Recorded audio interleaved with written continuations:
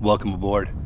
Today we're on the paddles platform of CVN 73, aka the USS George Washington, aka the G Dub, Spirit of Freedom, first in war and first in peace. Today we've got a Greyhound overhead looking to recover. The Greyhound's a twin engine, high wing carrier onboard delivery platform designed to carry supplies, most importantly, mail, and even passengers to and from the aircraft carrier. Time to get this rawhide on deck. All right, looking at the LSO platform, you can see we've got three LSOs lined up from left to right. All the way to the left is the controlling LSO. It's going to focus primarily on glide slope for the cod that's about to recover. To his right is the backup LSO, who's going to focus primarily on lineup and then on glide slope. He's also going to watch the winds, verify gear and lens settings, and make sure the deck is pitching within limits. To the right of the backup is CAG Paddles, who's the most senior LSO on the platform. He's going to be the backup to the backup.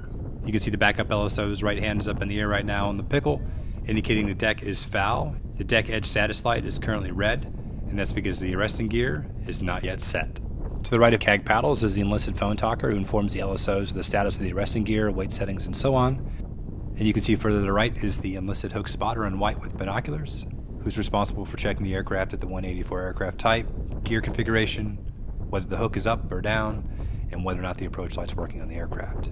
He or she will also verify that the lens is set for the appropriate aircraft type. Cod's just in front of the LSOs now.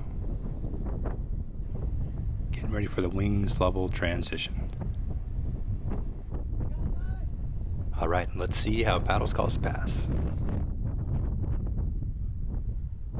Alright, the cod is a little low at the start.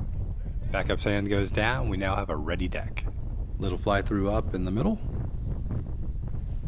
little high in close.